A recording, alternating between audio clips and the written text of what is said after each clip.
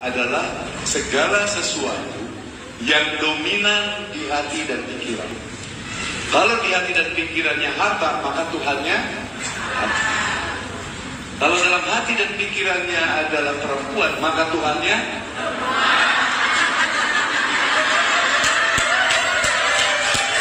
Kalau dalam hati dan pikirannya TikTok, maka Tuhannya maka ada yang lagi main TikTok, suaminya dicuekin. Maka la ilaha tidak Tuhan selain Allah. Allah itu apa? Makanya informasinya di surat 6 Al-An'am ayat 12. A'udzubillahi minasyaitonir rajim. Kulli man ma fis samawati wa ma fil ardi kulillah kataba ala nasirah. Katakan, kepunyaan siapakah langit dan bumi? Kata kepunyaan Allah dan Allah telah menetapkan atas dirinya Ar-Rahman. Kasih.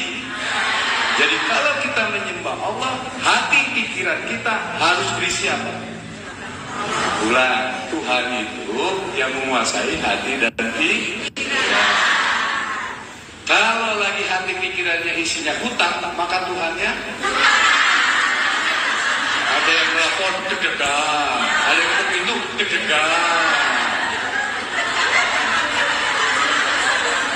Makanya adalah segala sesuatu yang dominan di hati pikiran, maka yang dominan di hati pikiran kita dan Allah telah menetapkan atas dirinya rasa kasih. Kalau begitu, yang ada dalam hati pikiran saya rasa apa? Jadi semua cuma. Jadi kalau saya menyembah Allah, hati pikiran saya hanya berisi rasa kasih sayang. Kan Allah telah menetapkan atas dirinya kasih sayang. Maka dalam sholat itu ada doa itu kan. Inna salati surat 6 Al-An'am ayat 162. Inna salati wa suki wa wa mati Salatku, ibadahku, hidup dan matiku untuk Allah penguasa langit dan bumi. Penguasa langit dan bumi telah menetapkan atas dirinya kasih sayang. Maka sholatku aku lakukan dengan penuh rasa kasih sayang. Baru disebut ibadah. Ibadahku aku lakukan dengan penuh rasa kasih. Hidupku aku isi dengan penuh rasa kasih. Maka matiku aku menghadap Jat Maha Kasih.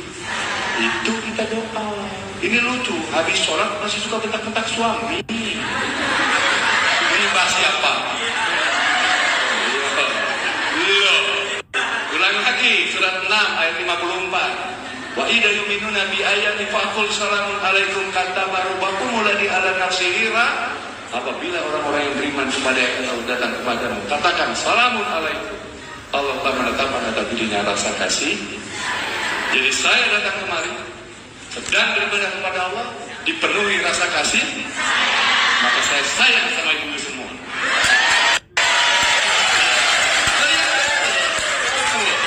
Rasul bersabda sebuah amal dikatakan ibadah apabila basmalah artinya apa?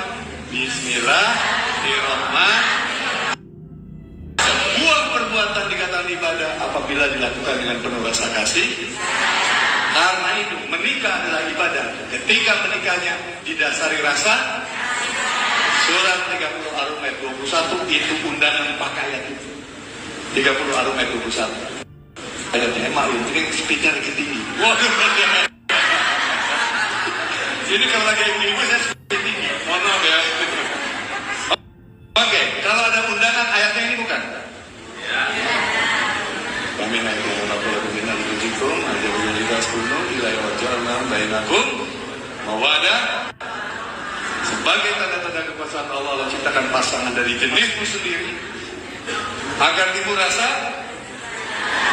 tentram dan kasih jadi sesuatu suami dan istri dikatakan beribadah dalam rumah tangganya. Ketika suaminya sayang sama seorang istri dikatakan beribadah dalam rumah tangganya ketika istrinya benar nggak?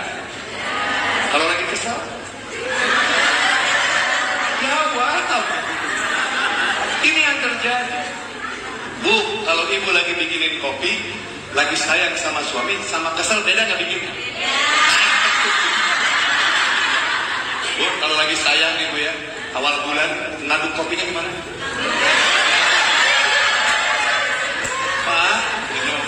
Pak minum kurang nggak gulanya? Gitu kan?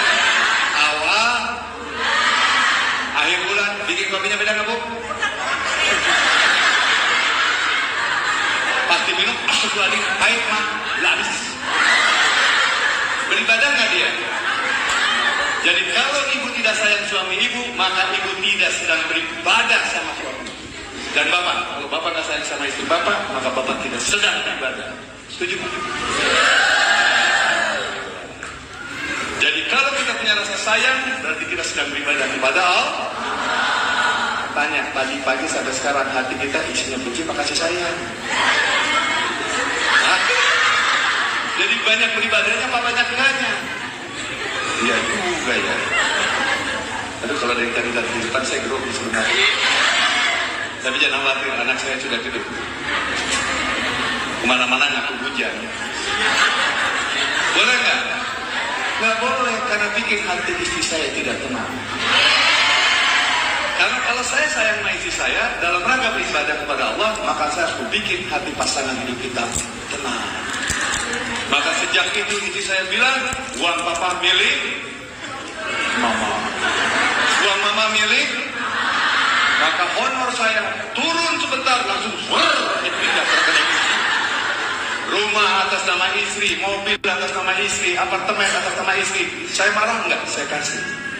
Dalam rangka saya beribadah kepada tapi nanti ketika mati Allah nanya adik pura harta dipakai apa sebentar ya Allah ma ada yang mama lama-lama Allah bilang adik pura masuk surga duluan mama di sini maka banyak dalam hadis banyak wanita di dalam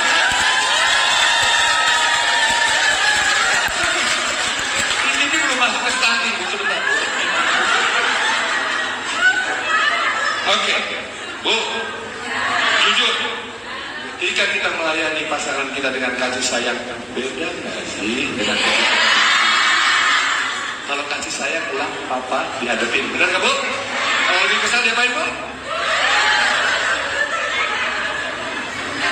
Mak, gak bukan bicara jorok. Ketika suami melayani istri, istri melayani suami dengan kasih sayang, maka lahirlah anak cucu yang penuh dengan rasa. Tapi kalau kesel,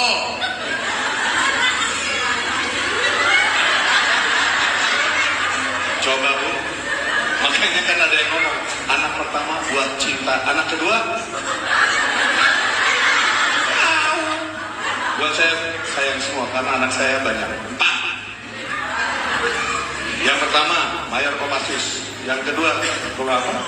Stand up, dia punya tulisannya. Yang ketiga sampai sekarang nggak mau pulang ke Indonesia, tetap tinggal di Yuda. Tujuh tahun di sana nggak mau balik-balik. Bapaknya ini salah kalau mahal-mahal nggak mau balik.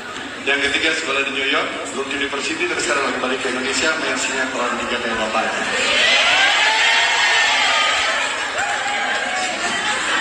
Namanya Magara Putra Dipura lagi main di mantan IPA IPS. Itu anak ini. Kalau ada yang bilang anak saya lebih ganteng, wajar karena itu perbaikan keturunan. Dan saya lakukan dulu ketika bikinnya dengan penuh rasa. Ibu, ternyata anak yang kita produksi dengan penuh kasih sayang dan dirawat dengan kasih sayang berbeda dengan yang tidak dirawat dengan kasih sayang.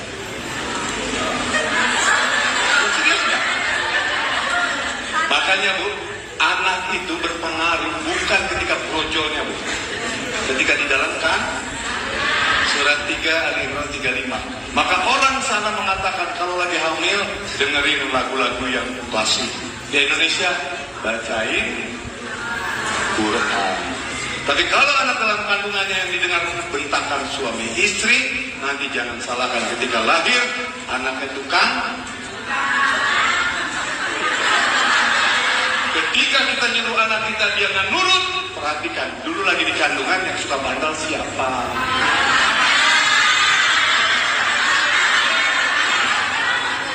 Karena dalam kandungan itu terkonek. Makanya ini Quran, saya tidak bukan berbicara teori sekarang, saya tidak berbicara jurnal dan penelitian, saya hanya berbicara Quran, Quran ngomong kayak gini. Siapa yang mau baca itu terjemahan? Kalau nggak saya bacain lah. Dan ingatlah ketika istri Imran berkata, Ya Tuhan, Sesungguhnya aku menajarkan kepada engkau anak yang siapa? Kata Allah, kata Bapak, ini kata Bapak. Kata Bapak. Emang Bapak itu mati ketemu adik? Murah, bukan. Emang adik murah pangkatnya PhD atau profesor? Bukan, saya mau rokok, mau pemain sinetron. Jadi kata Allah, jaga anakmu ketika dalam kan. Ya, kalau zaman orang nenek kasar, jangan berkata yang kotor, jaga sikap perilaku. Bukan itu, biarkan kandungannya yang terhubung melalui plasenta, dia mendengar, dia melihat melalui mata, dan dia merasakan melalui hati ibunya. Maka ketika ibunya ada mau, saya nggak pernah minta, mau apa saya? Martabak. Oh ya oke, besoknya saya beliin martabak. Baru datang, yang ini bukan ini yang ku mau. Apa toko martabak?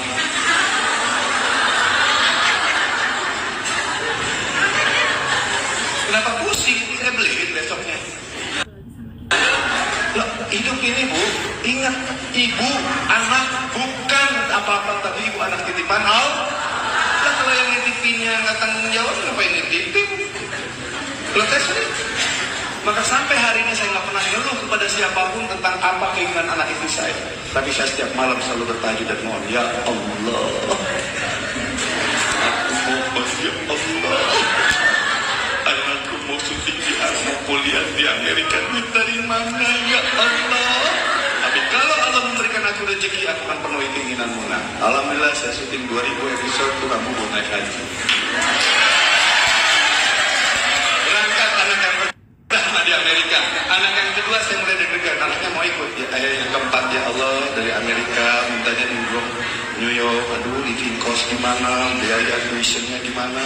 Alhamdulillah saya syuting. Anak langit. 1200 episode. Yang paling saya suka syuting anak jalanan karena itu saya shoot Meriska.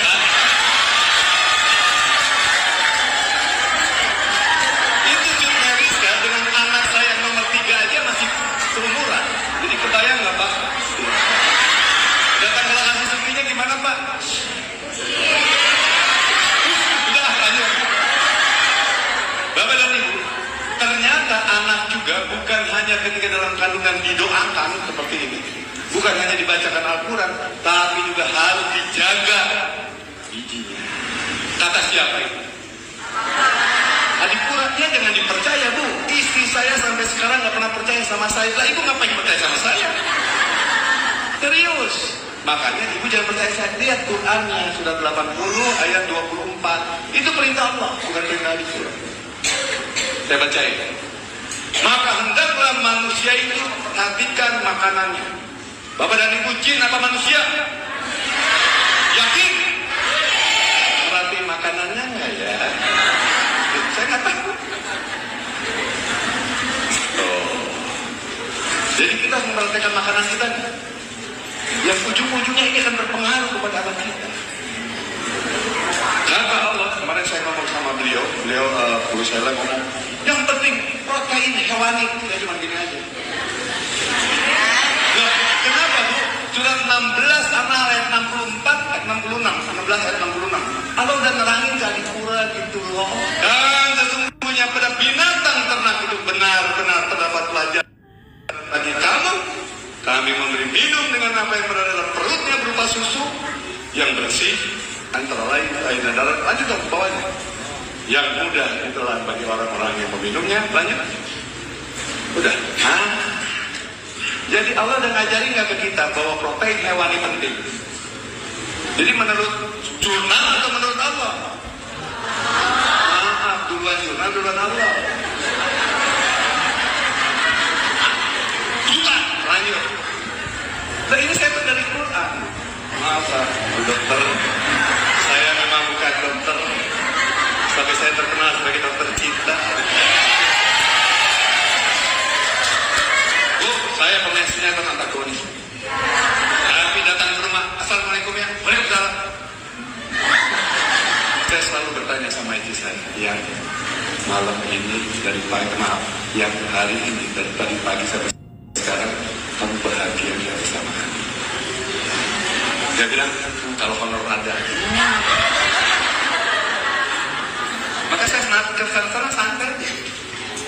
Istri saya sekarang sebulan di Turki gara-gara apa? Sebulan ini saya kerja yang keliling aja. Ke Palembang, Bangka Belitung, Surabaya, kebetulan bersama guru-guru saya keliling. Jadi cuma nanya, ke mana aja yang sebulan ini? Mau syiar. Aku juga mau pensiar. Beda nggak? Mau ke mana kamu yang? Mau syiar. Oh iya, saya mas, saya juga mau pesiar. Berapa lama ya? Ya sebulan. Di mana ya? Turki. Kok ke Turki sih? Cowoknya ganteng-ganteng. Tapi saya takut. Tidak dong. Tidak dong. Karena bagi saya satu, ya Allah selalu ada di mana pun kamu berada. Allah ada di mana pun saya berada. Saya selalu menyembah Allah dan Allah penuh kasih sayang. Maka insya Allah Allah memberikan kasih sayang saya buat istri saya dan Allah memberikan kasih sayang dia buat diri saya. Jadi perhatikan nggak perutnya, eh pemakanannya. Jadi protein hewani penting apa enggak? Kata siapa? Bukan kata Bu Dokter Sheila. no, kata Allah. Tambah lagi surat 16 ayat 69. Apalagi yang dibutuhkan? Kemudian makanlah dari tiap-tiap macam buah-buahan. Bapak jangan bayang buah-buahan yang lain. Buah-buahan. Dan tepulah jalan Tuhanmu yang dimudahkan bagimu. Eh, dan bermadu. Jadi selain buah-buahan, makan ma madu. Tambah lagi surat 2 Al-Baqarah ayat 26. 2 Al-Baqarah 26. Sesungguhnya Allah tidak leh enam enam enam salah salah. AA yang salah enam satu enam satu.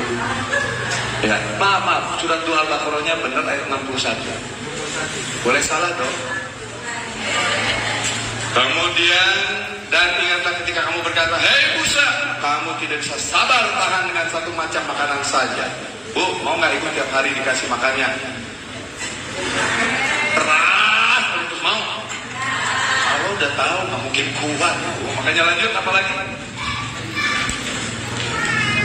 Sebab itu mohonlah untuk kami kepada Tuhanmu lanjut agar Dia mengeluarkan bagi kami dari apa-apa yang ditumbuhkan bumi yaitu sayur mayur, ketimun, bawang putih, kacang adat, bawang merah.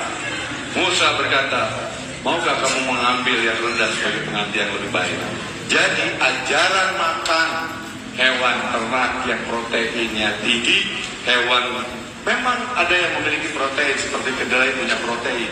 Tapi yang mampu meningkatkan pertumbuhan besar itu adalah protein hewani. Menurut ibu dok, ya kan kurang lagi. Kata Allah ibu ya, oke lanjut.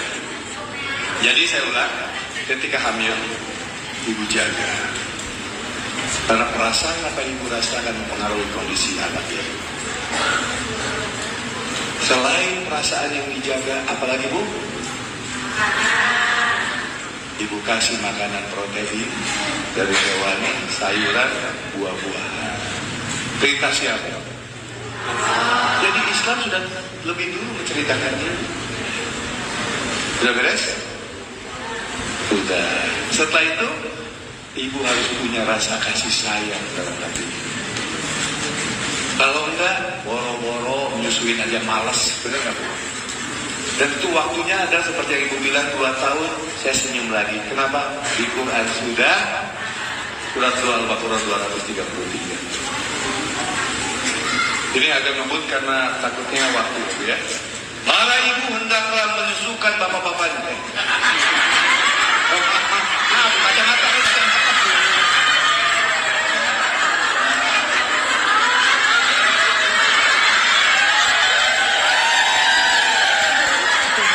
Para ibu hendaklah menyusukan anak-anaknya selama berapa tahun? Tadi Ibu Sela ngomong berapa tahun? Berapa tahun, Bu? Kata siapa? Jadi saya tahu nggak kalau dua tahun itu? Walaupun tampangnya kayak gini, mah maaf tuh. Tampang main antagonis. Undur man wala wala tandur man tola. Ya. Terjemahannya apa? Jangan lihat siapa yang bicara, tapi lihat apa yang dibicarakan. Dari tadi saya ngomongin apa, Bu? Pendapat tentang Quran?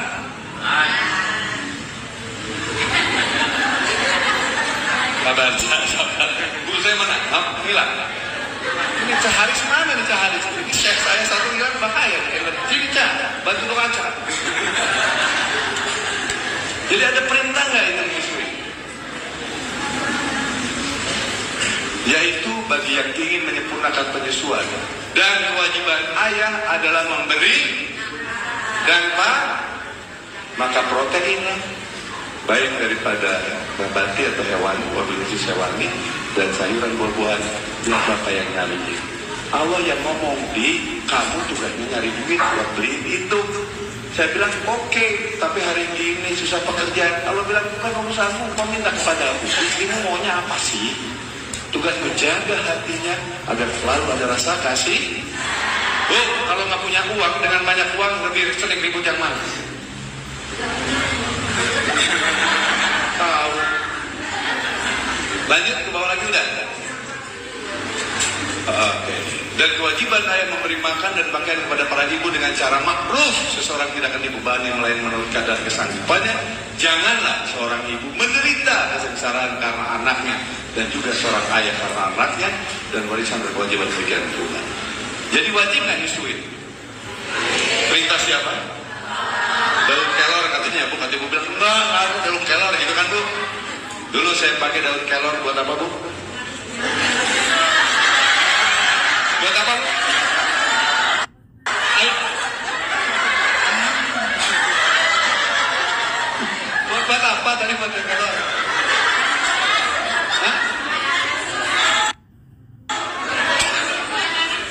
Kata ibunya ngilangin jimat. Katanya buat nambah air susu ya bu. Jadi buat ngilangin jimat tempat susu. Tahu saya nggak ikutan. Ya lanjut.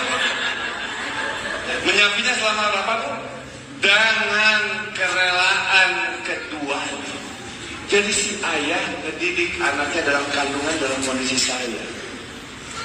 Si ibu pun menyusuinya dengan kondisi itu yang memberikan potensi keselamatan buat anak-anak kita. Tapi kalau bapak dan ibu lagi dalam kandungan, lagi brojol, kerjanya ribut, malah tidak ada kasih sayang, tidak sedang beribadah, setahun dua tahun dia tersimpan dalam otak bawah sadar mereka. Long term memory yang ada di otak bawah sadar mereka. Di otak ada yang namanya korteks frontal, ada memori. Ada juga yang disebut dengan hipokampus di dalam sistem limbiknya, tersimpan dalam emosi mereka. Jadi jangan salahkan. Kalau anak kita dikit-dikit, apa? Itu seperti sekaya. Tuh, tuh, tuh, tuh, curhat, curhat, curhat. Ingat, ketika ibu tidak menyusui, Allah marah. Surat 22 ayat 1 dan 2. Hei manusia bertakwalah kepada Tuhanmu Sesungguhnya kegoncangan hari kiamat itu adalah suatu kejadian yang sangat besar dahsyat. Lanjut. Pada hari ketika kamu melihat kegoncangan itu, lalailah semua wanita yang menyusui anaknya. Dari anak yang disusuinya. Padahal air susu penting nggak bu? Menurut penelitian ya bu ya. Nah ibu tahu jurnalnya, saya nggak tahu jurnalnya. Udah penelitian. Dan terbukti semua. Maka pentingnya nyusui. Nah, ini yang akan lahir anak-anak generasi kita yang lebih baik lagi. Ya, kasih sayang ada dalam rumah tangganya, ketenangan istrinya ada, suaminya pun bahagia.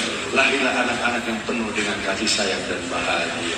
Makanannya pun baik, diisi makanan yang protein hewani dan ya hewani juga dan nah ini boleh juga kan tetap protein hewani yang prioritas tapi protein nabati juga bagus tambah lagi dengan sayuran dan buah-buah anaknya menjadi sehat. Begitu nggak bu?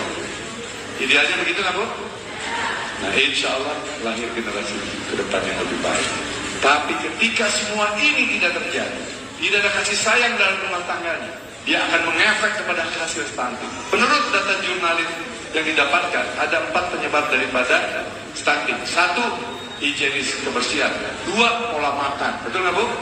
Saya bilang ada tambahan lagi satu, psikologi. Apa hubungannya Pak? Saya mau nanya. Kalau ibu lagi jatuh cinta, makannya gimana Bu? Makan pola makan ibu? kalau ibu lagi sakit hati diputusin sama yang dicintai makan ibu gimana? Pola makan berubah. Uh, berubah lah. Iya kan? Coba bu, kalau ibu disakiti sama suami ibu, ibu makannya rawok, rawok itu banyak. Rawok itu bahasa Inggris. Apa Sunda cak? Oh Sunda, rawok itu Sunda ya? Ada orang Sunda di sini? Tahan. Eh, aneh.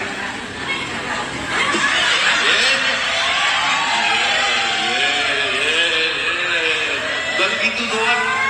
Saya ber, udah berhari-hari nggak ngomong Sunda. Di jalan tadi ngomongnya kalau nggak bahasa Jawa, bahasa Palembang. Pulau betul ngertos. Nah, ini ngomong apa? Saya saya tahu cuma satu. Pulau Sawar Lontang ing kersani pun panjenengan oh pilih ono rentak rentuk Udah lanjut. Oke.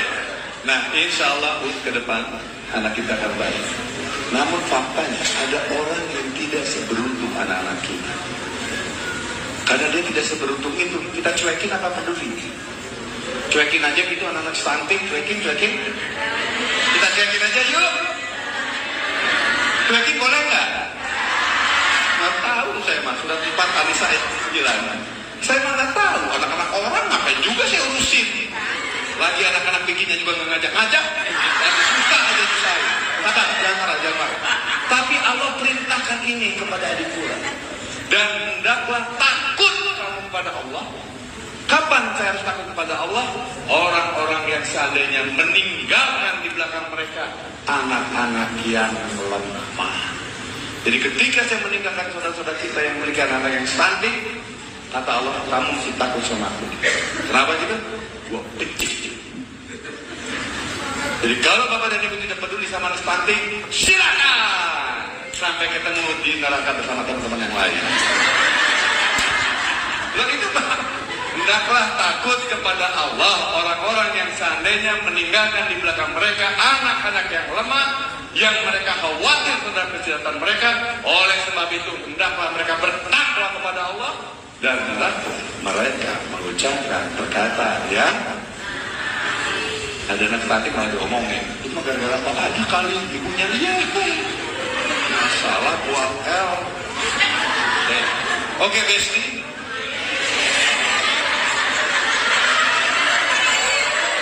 Oh nggak mau sama saya?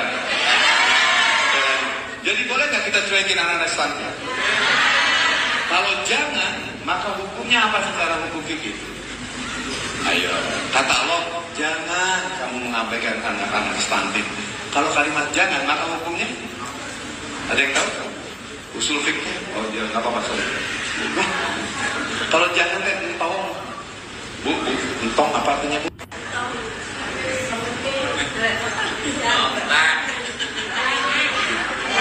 Mana? Nggak tahu?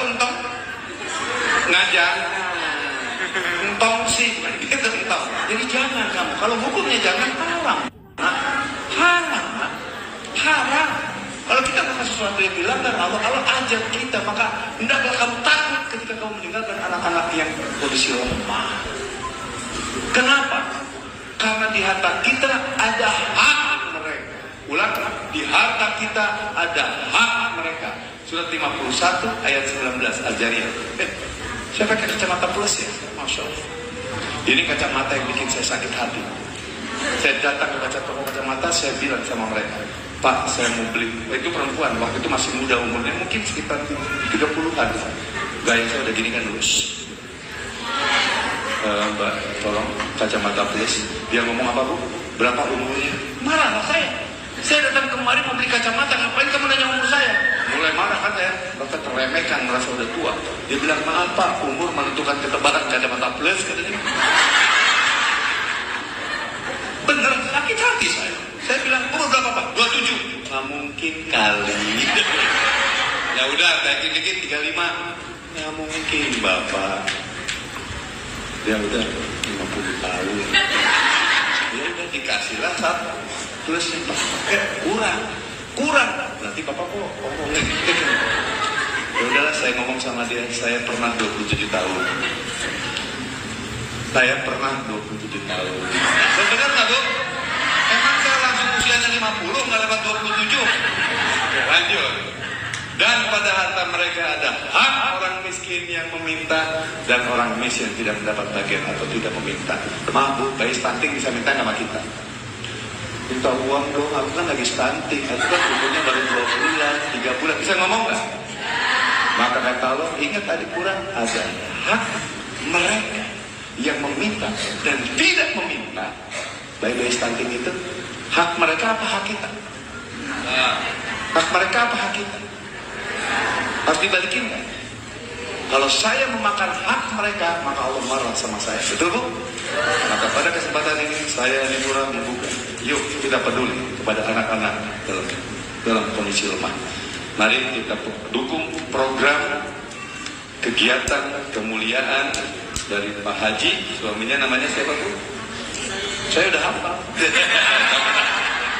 Tolong Pak Camat tunjukin video saya. Jadi saya udah hafal ini. Tolong sampaikan. Sebentar kita aja. Saya mohon maaf lahir dan batin. Saya minta maaf ya Bu ya. Tapi tolong satu ingat Tuhan kita adalah jatma kasih sayang. Maka ciptakan terus di dalam rumah tinggal kita rasa kasih. Kata siapa? Maka di undangan perkawinan kan kayak gitu. Yuk kita tebarkan rasa kasih sayang. Bukan hanya kepada uh, pasangan kita, tapi juga kepada anak kita. Tebarkan rasa kasih sayang kita. Jaga anak kita. Karena tanpa kasih sayang akan menghasilkan anak yang tidak baik. Jaga juga makanan kita. Ada protein hewan, ada juga sayuran dan buah-buahan. Kita kasih juga ke mereka. Untuk ke depan, masa depan anak cucu kita. Dan kalau ada saudara kita yang memang diberikan takdir dari Allah seperti itu, kasihi mereka dan bantu mereka. Bukan dicium, bagi. Jangan kamu, hendaklah kamu takut kepada Allah ketika kamu meninggalkan anak-anak yang dalam kondisi lemah. Karena di harta kita ada hak buat mereka. Sementara itu yang saya sampaikan dengan segala kerendahan hati, izinkan saya minta maaf apabila ada gaya ucapan yang kenal di bapak dan ibu karena pada dasarnya saya hanyalah pemain si saya belum menjadi ustaz saya tetap pemain. Nah kalau ustaz ustaz nah ini pejabat itu umaro pejabat ini ulama ini ulama ustaz saja ini umaro ulama nah itu nah itu nah nah nah nah, nah wes. terima kasih buat yang datang hari ini 5000 yang datang Oh, di sini ada jin juga nggak? Terima kasih buat seluruh makhluk ciptaan Allah yang ada di sini, baik dari golongan jin dan manusia. Saya Haji Kurang memohon maaf dan batin apabila ada ucapan perbuatan yang tidak berkenan. Assalamualaikum warahmatullahi